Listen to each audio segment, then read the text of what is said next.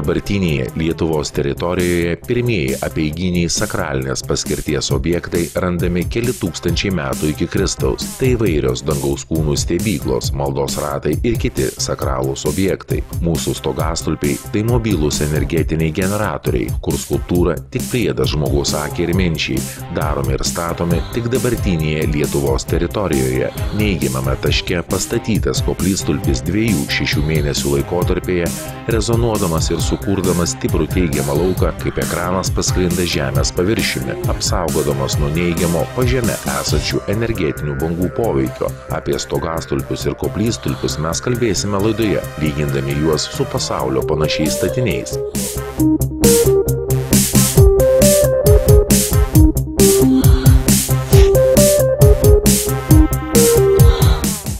Žemė, mūsų planeta, graži ir unikali savo žmonėmis, jų sukurtais darbais. Kūryba suartina žmonės, tautas, pasaulius. Atėjo metas ieškoti ne skirtumų, o tai, kas mus vienyje, ko esame panašus, kokie ženklai ir simboliai bendri. Vėlesniais laikais mažoji architektūra, stogastulpiai, koplytstulpiai, koplytėlės, patiriant kaimynų agresiją, prasidėjusiems kryžių žygiams ir ko pasiekoje keičiamo tikėjimo pakito. Uždraudus senąjį tikėjimą pakito ir sakralių statinių turinys. Pradėta talpinti krikščioniško turinio skultūras. Atsirado naujos formos kryžiai.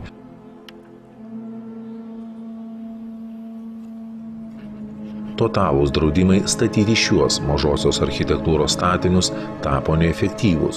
Romos popiežių draudimai nuo 1200 iki 1400 metų, vėliau carinės Rusijos nuo 1863 iki 1917. Paskutinis draudimas - sovietinė okupacija 1940-1990 metai. Susilpnėjus priespaudai draudimams žmonės pavieniui ir grupėmis atkurdavo senuosius paminklus ir Lietuva vėl būdavo nusėta šiais unikaliais paminklais.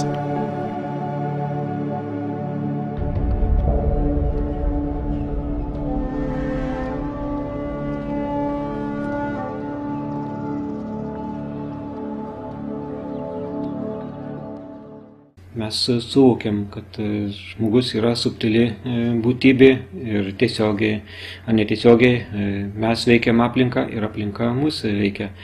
Ir tokiu būdu kartais nejučiom tampame tų savo poveikių aukomis,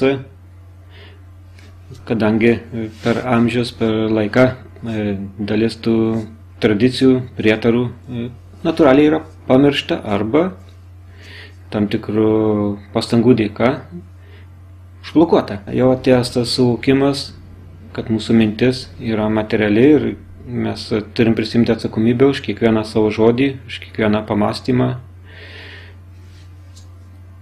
Kadangi ne vien mes tik šioje žemėje gyvenam. Ir tas mūsų gyvenimas ir būdas įtakoja visą tai natūraliai gamtoj visą laiką egzistuoja pusiausvyrą. Žmogus gal labiau linkęs vardyti tą pusiausvyrą, atkovodamas iš gamtos savo tinkamas patogias erdves.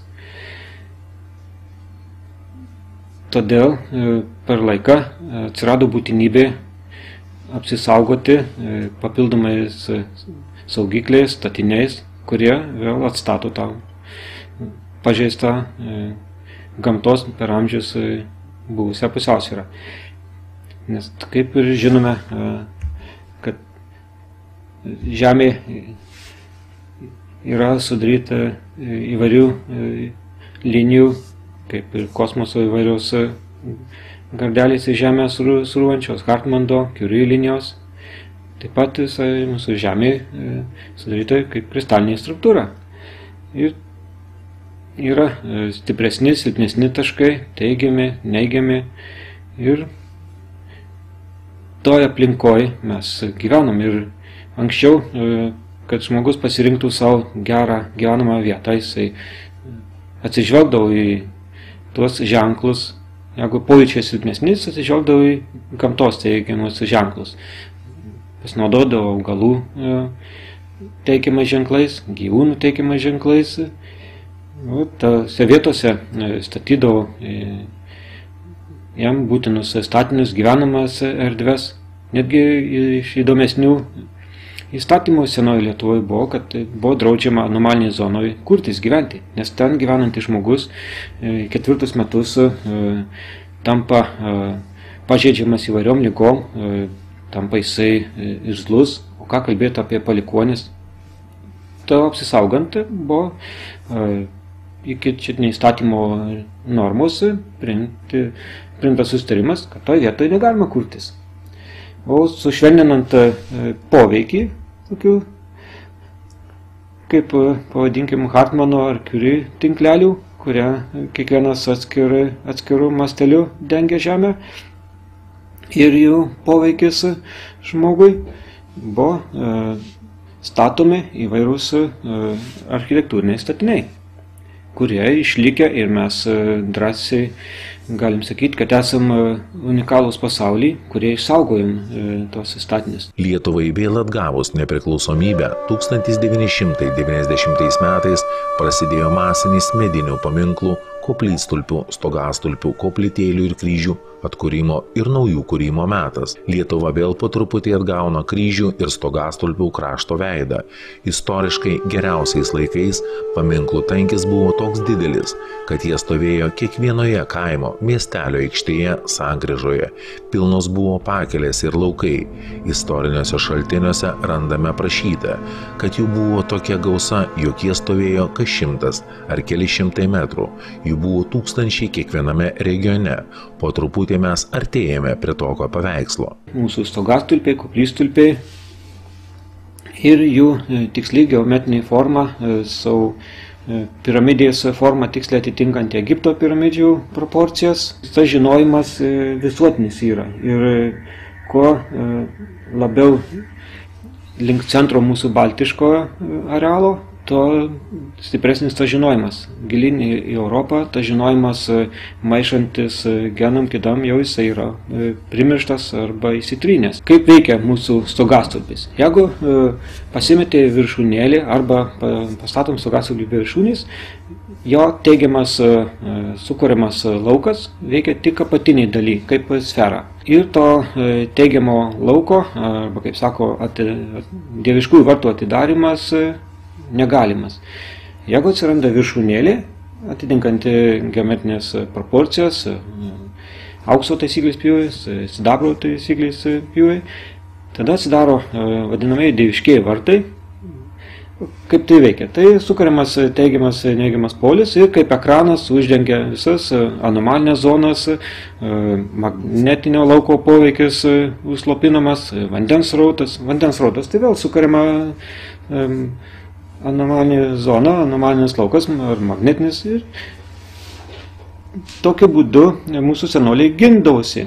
Gindausi ir per eilių, eilę metų tai buvo daroma netgi nežinant tikslios priežasties. Paprasčiausiai tai buvo kaip prietaras, kaip vidinis žinojimas, jausmas. Nes daug ką mes darom iš jausmo.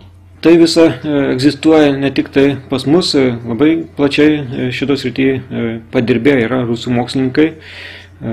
Maskva, žinoma, apstatyta piramidė, garsus mokslininkas Golodas ištyrinės ir būtent jo naują formą piramidžių, kur pagrindo ir statinio santykis sutampa 2,02 santykių ir ta piramidė pasirodo dešimt kartų stipriau veikia aplinką teigiamą prasme ir didesnis uždengiamas plotas.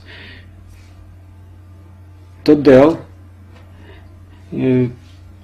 kad ir kaip mes skeptiškai žiūrėtume į tuos savo kaimynus, Maskva nebereiklau apstatyta.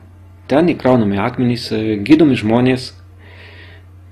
Tas pats žinoma ir kitose pasauliuose, tik tai kada mes tarsi ilgą laiką gyvenom izoliuotoje erdvėje, kada buvo greunami tie dalykai. Mes užmiršom kaip etalonas, kaip pavyzdys Egipto piramidės ir kada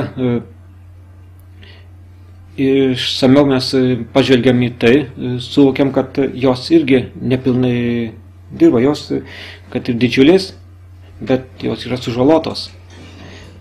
Jau turėtų būti viršūnės kaip ir mūsų stogastulpių viršūnėlės, nes jeigu pažiūrime iš satelito, visų piramidžių viršutinė dalis yra nupjauta aikšteliai.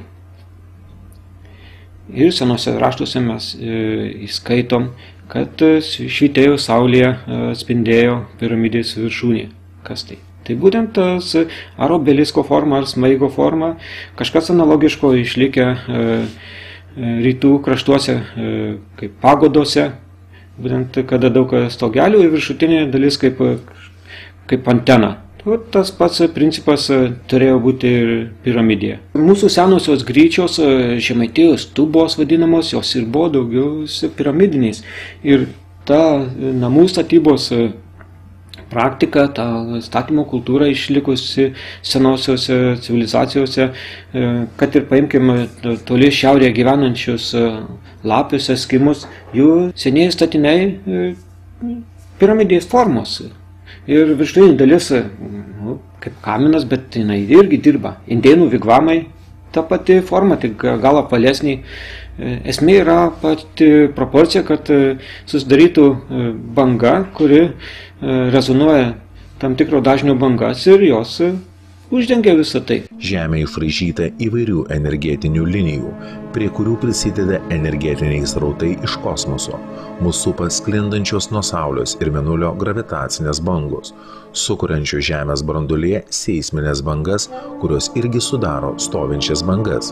1949 metais Valteris Šumanas paskaičiavo rezonatoriaus, kurį sudaro erdvė tarp litosferos ir ionosferos bangas. Šumano bangos veikia kaip biotropinis dirgiklis, po žemė esančios vandens gyslos ar kiti energetiniai kanalai bei gniužulai tai suardo. To pasakoje žmonėms ilgai pabuvojus toje zonoje skauda galva, sutrinka orientacija, pablogėja nuotaika, atsiranda įvairūs skausmai, vandens gyslų sukurti laukai bei jų poveikis žmogaus organizmui iki šiol yra mažai ištirti. Mes prieartėjome prie pačių piramidžių e, tyrimų, kur įsamius tyrimus atlikę rusų mokslininkai ir kokia bebūtų e, piramidė, ar jinai apvali, ar jinai e, keturšlaitė ar aštuonbriaunė, svarbiausia jos yra pagrindo ir statinio santykis. Jeigu tai yra teisingai išlaikyta ir išlaikyta viršutinė dalis, e, vadinama viršūnėlė, piramidė dirba ir atsidaro kaip vartai. Didžiausias ir paslaptingiausias senojo pasaulio stebuklas - Egipto piramidės. Tai Cheopso, viena įspūdingiausių ir pagrindinė, taip pat tobuliausias statinys pasaulyje. Tai matmenų ir formų etalonas, o svarbiausia, jos geometrinėje formoje užkoduota visato sukūrimo informacija. Mūsų stogastulpių, koplytstulpių stogelių forma idealiai atitinka Cheopso piramidės parametrus. Yra vienas skirtumas - tai virš stogelio kyšantis smaigas, užsibaigiantis medinė arba metalinė viršūne.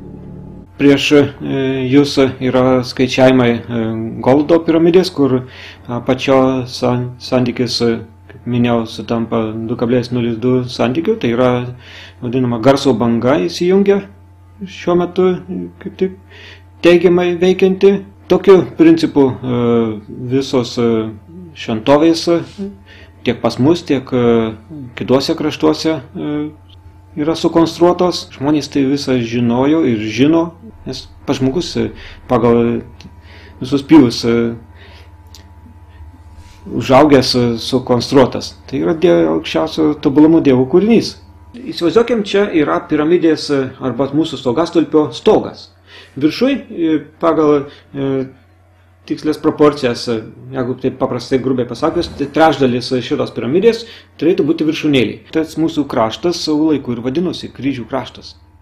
Pats kryžius e, kaip blokatorius, jis atliko savo funkciją reiškia, pastatome stogastulpį, užblokuojam tą anomalinę zoną ir sukuriam savo e, tinkamą erdvę gyventi ir mūsų kraštas vadinasi rojumi, nes gera čia gyventi. Kieno tikslas buvo e, sujaukti, o sujaukti galima sunaikinant e, tuos statinius, kurie sukuria tą teigiamą aurą sukuria e, palankę sąlygą žmogui egzistuoti.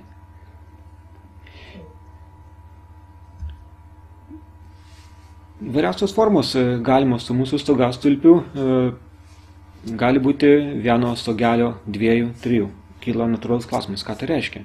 Kada e, išmatuojam su prietaisais, šios laikais yra tikrai įvairiausių prietaisų, pasirodo e, stogelis su stogeliu geometrinė progresija energija dauginasi ir e, dengiamas plotas jau iš karto e, keliaropai išauga. Trečias stogelis vėl geometrinė proporcija. Ką mes turim? Mes turim labai stiprų e, energetinį generatorių, kuris mus apsaugoja. Apsaugoja netgi gal, paprastai pasakius, nuo mūsų neigiamos įtakos aplinkai. Jeigu mes natūraliai aplinkoje iškertam ažuolynus, o ažuolas irgi tai yra tie vartai ateiti žemę teigiamą energijai, tai tada toje aplinkoje mes pastatom stogasulpį ir turim sutvarkytą pusiausvyrą. Nes pusiausvyros nebuvimas, išbalansuota aplinka atsiveria neigiamą zoną ir toj zonoje žmogus paprasčiausiai susirga. Aš turiu pavyzdžius, kaip didelės konkurencijos įtakoj paukšteliai. Padarom, pastatom stogastulpį, Vieną vadą įsiperėjo, e, skrido kiti. Ir taip metai iš metų jie toj stogasulpių aplinkoje peri. Nes paukštelis e, bet kurios vietos lizdui nepasirinka. Nes e, arba jaunikliai neįsiris iš kiaušinių, arba jis per daug jautrus sutyrimas, kad bloga vieta net būtų. Tas pats ir apie gyvūnėlius pasakyta. Prieš tai mes kalbėjom apie triobas, e, stubas. Tai tokiu pačiu principu e, energetiniai statiniai apsaugoti mūsų vandenį, šulinius. Taip pat e, ta geometrinė forma tą vandenį struktūrizuoja ir jisai tampa gydomuoju. Gali būti vanduo vienaip ar kitaip pratekėjęs ar paveiktas. Teigiama aplinka jį padaro mum tinkamu ir žmogus įvartodamas nesensta, lastelės atsinaujina. O dar jeigu šulinio sienelės išklotume titnagų, ką mes gaunam? Mes gaunam dar papildomas saugiklis. Nes titnagė yra silicio, kuris neleidžia lastelėms senėti. Prieš mane e, yra pavyzdžiai įvairių e, šulinių apsaugų tiek Austrijoje, tiek Čekijoje. Ir senųjų apsaugų tik pakankamai randam ir mūsų lietuvėlėje.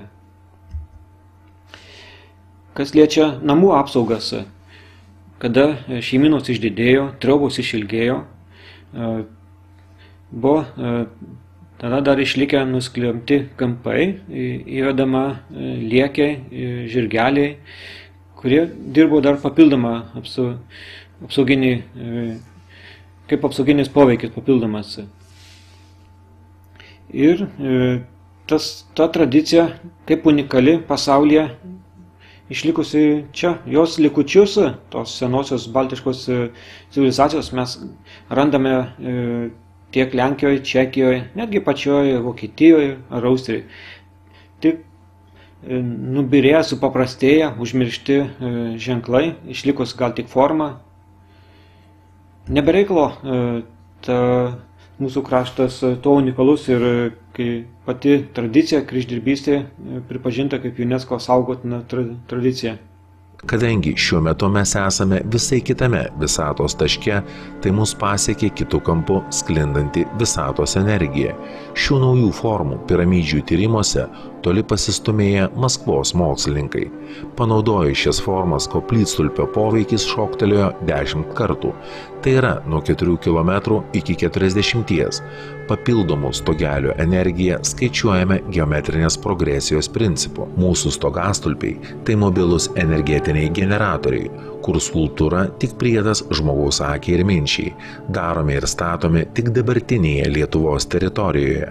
Į atskirą grafą galima išskirti ir prie energetinių statinių priskiriančius kulto statinius - šventiklas, bažnyčias, cerkves ir kita, bet tai atskiras pasakojimas. Laiko bėgant e, keičiantis architektūriniam stiliam, madom, tas žinojimas niekur neišnyko. Tik keitėsi geometrinės formos jų panaudojimo galimybės. Per Europą rytosi įvairios bangos kaip gotika, barokas ir pati efektyviausia ta, ta forma, kaip, kuri iki šių dienų daug kur naudojama, tai yra gotika. Būtent tas tikrasis, ką šiuo metu naudoja rusų mokslininkai, Golodo įtakoti, įvairius tą formą atitinkančios piramidės įvairaus dydžio, tai būtent senieji gotikiniai pastatai.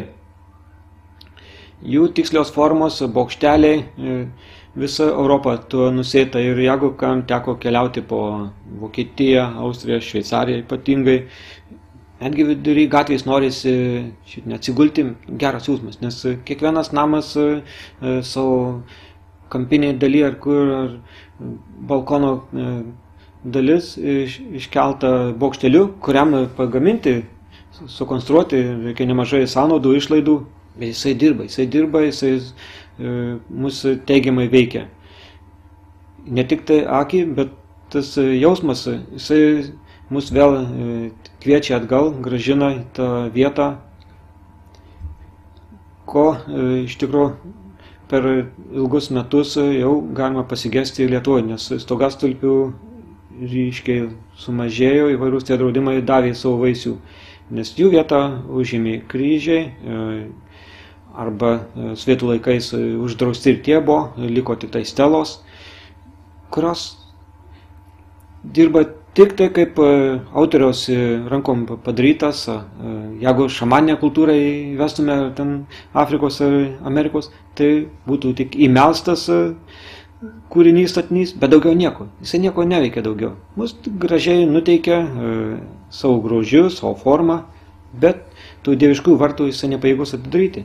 Grįžtant prie e, architektūrinių statinių, kaip minėjau, visą Europą ir keliaujant už jos ribų, praškai visas pasaulis e, tas formas naudoja. Žmonės iš žinojimo, iš pajautos tai darė, daro ir aš net nebejoju, tai darys. E, kuo skiriasi pagodos nuo mūsų stogastupių?